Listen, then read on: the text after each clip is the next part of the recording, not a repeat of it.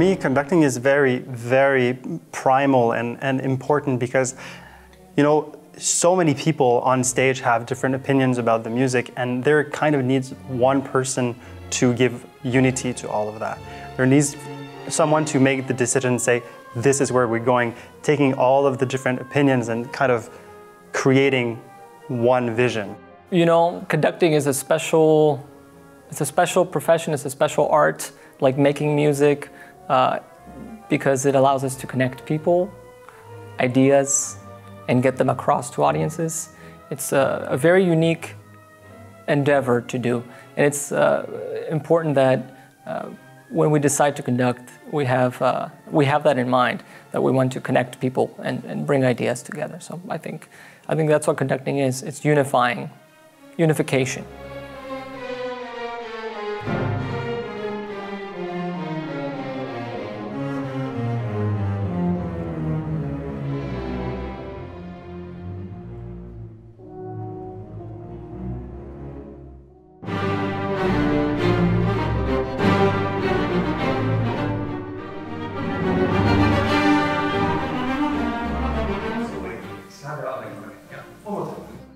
What is important is to be a passionate conductor, a committed conductor, a conductor who loves to communicate and share his dedication for music. Show me what the composer wants and embody that. Show it with everything you've got. I think that uh, you can learn learning conducting, you know? You must born for this. It's like, uh, it's like uh, in your heart, in your brain. It's like your life. I must say I get really nervous when I see these young conductors because we all been there and uh, I recognize all these, you know, emotions uh, in these competitions and I get my sweat in my hand and I feel the pulse goes up. So I really feel uh, I have my, my biggest empathy for these people because it's uh, it's so so tough and you have everybody's eyes on you all the time. They have my biggest respect and I'm so happy they come because it's so important for the whole uh, musical life that young that people want to be conductors. I mean, it's fantastic, isn't it? It's always challenging, challenging yourself, challenging the musical thoughts you have. Um, so um, there are a lot of doubts but there's no doubt, uh, room for doubt uh, on stage. So it's always uh, trying to find a good balance in it, because doubting is also healthy, but uh, a good, a good balance is, is the best way. Well, what I personally look for is, of course, a very high level of um, musical education, artistic education, and also competency and of very serious study and of motivation. But I'm also looking for something which is much more intangible, which is um, something which um, inspires and lifts uh, people up in the audience and also in orchestras and amongst other colleagues. And also, I'm looking for often a sense of purpose. I think the pressure and, um, and stress we are somehow used to as conductors, as like everyday life somehow especially on that stage of career when you're just, you know, taking off. Um, everything is always new. You just arrive to new places constantly. So uh, we are somehow trained, I think, to stand this and to deal with this. But yeah, uh, that's true. It's stressful somehow, and uh, but it's also very exciting. And I mean, it's a great orchestra here, and it's beautiful vibe. So this is our first jury meeting after the first day of our semifinals here at Princess Astrid International Music Competition. Um, I think we've had some moments of real excitement and some moments of real music making when suddenly, for, for a few seconds, the candidates and the orchestra really connected. Um, so it's been a very interesting day for us too, I think, and we look forward to the result. I, I would not uh, think it like a competition. I mean, uh, every opportunity you work, especially with a very good orchestra, you have the good opportunity to making music, no, no matter it's competition or masterclass or performance. I mean, it's all the same. You need to be 100% there. Yeah. Okay, so good afternoon. A belated welcome after an impressive day of first round. I'm very privileged and happy to be serving as the jury leader, along with my esteemed colleagues sitting with me at the table. Without further ado, I will go ahead and announce the results from the first round today. Here we go. We're happy to see you tomorrow. Abner, Toby, Junping, Alvin, Miriam, and Jayhawk.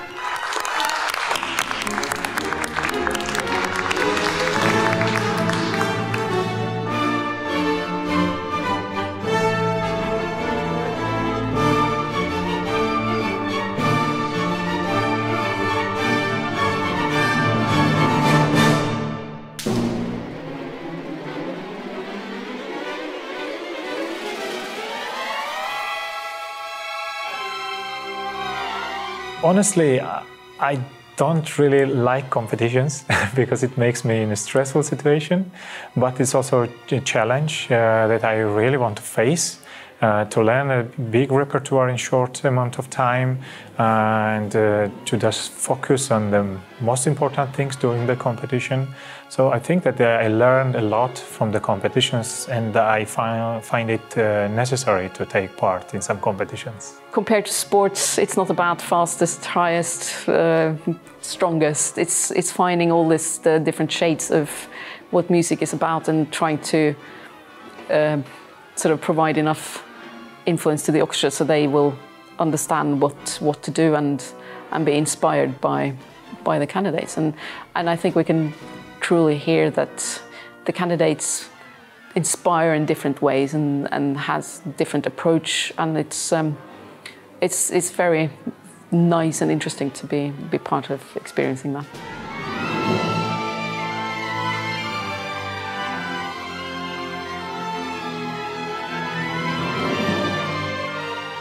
It's thrilling to be here. The piece that they performed today is called Masquerade, and it's a piece I wrote back in 2013 to open the last night of the proms, and it's very exuberant. It was really a piece to be very celebratory for this very special musical occasion. And it was really interesting to be on the jury through this process because usually as a composer, I'm sitting in the audience, you know, experiencing the sound as the other members of the audience do. But for this experience, we were actually sitting behind the orchestra, in between the brass and the percussion, so we were able to see face on the So that was a new experience for me, uh, firstly sonically, to be in a very different position within the orchestra. So I was really hearing the details of the brass and the percussion in ways I hadn't heard before, but also to see a more intimate side of the conductor, um, not just the hand gestures, but the facial expressions. Conducting the means for me uh, is a great opportunity to, to share with great musics um, and show a way that when you study your score, but also take what the music offer to you. So trying to, to make a, a unique message. So this is amazing. I think, well, of course, it's different than making regular concerts and doing a competition. But the main thing is same, I, I think, making music with the orchestra and making connections, sharing ideas. So in that sense, I don't see much difference. This is the jury meeting after the second day at the Princess Astrid International Music Competition for conductors this year.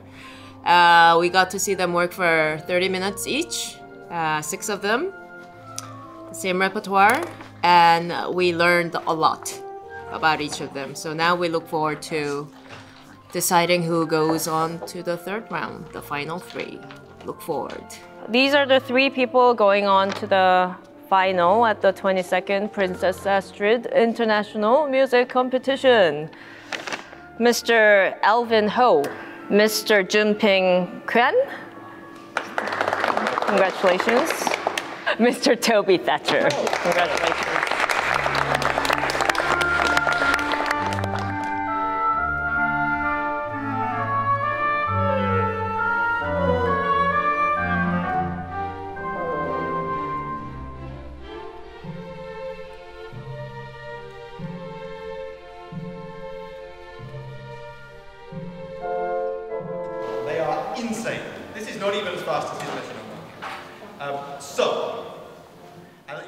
I think my job is to encourage an orchestra to believe in the music that we are playing in that week, to believe in the music and to believe in a way of performing that music, um, and to provide the energy in the room to kind of, you know, help the musicians do the job to the best of their abilities. I, we're really lucky that we always exclusively get to walk into a room filled with people who are specialists at what they do, extremely talented, extremely high level. Um, and we are there to encourage them to do the best work that they can and, and to, to, to love, love the music. I really never really felt to be a conductor, but I've always felt to be a musician, to be interpreting the scores, to be finding uh, the truth behind the scores, which is a lifelong journey. And so conducting was something, a means to express what I have understood about the music uh, and what I want to create with all these 100 plus people, sometimes different departments if you're in opera, uh, and bring everything together. I think it's a really beautiful thing. And that's really what drew me to conducting. And uh, the fact that also, as uh, the leader of any uh, orchestra or ensemble, you are representing them and connecting directly through the composer to the public and to speak to the public, uh, to interact with them, I think, which is the most important thing after all, because music must be kept alive.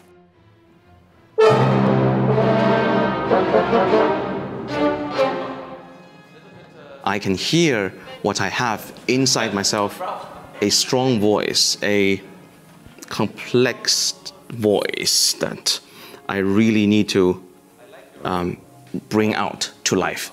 So, conducting is the way to do it. Um, and I'm happy that I can or I'm able to do it. Yeah.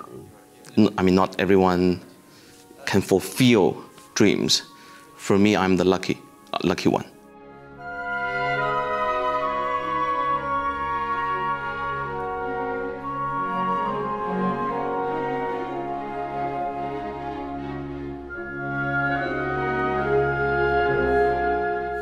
Musikkprisen som bærer mitt navn, har vært viktig for meg gjennom hele livet.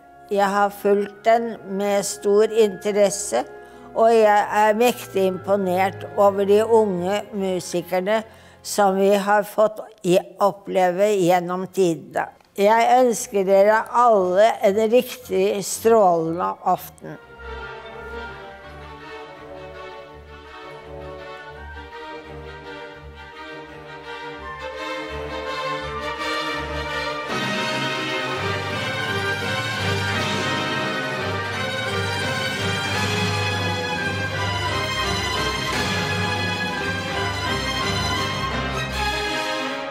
In best case, I'm moved and touched by the way they do music. And that is, I think, our ultimate goal to really move people. Then I, of course, also want to see them creating a great contact with the orchestra, to affect the musicians really, get them to play better. I want to see how they rehearse. Are they addressing the real issues or just some some uh, places they maybe thought of before coming in? Are they really listening to the music?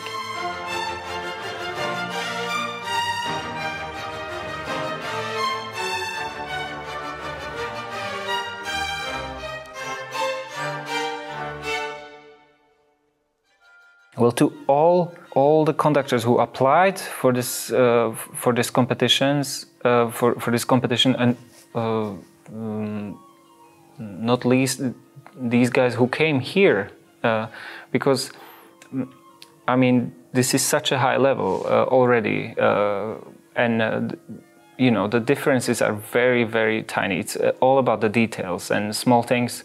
So uh, I. They should all be really proud that they made it to Trondheim.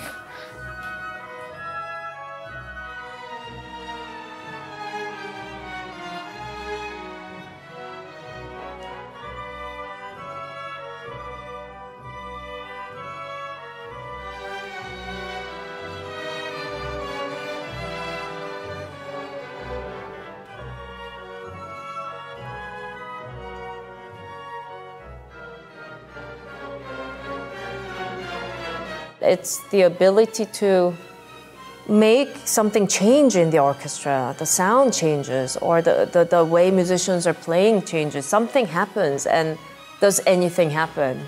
And um, yeah, these things sound very vague, but at the same time, we as musicians, all I think all of my colleagues on the jury will agree that it's something you know instinctively and immediately if you have a talent in front of you. Yeah.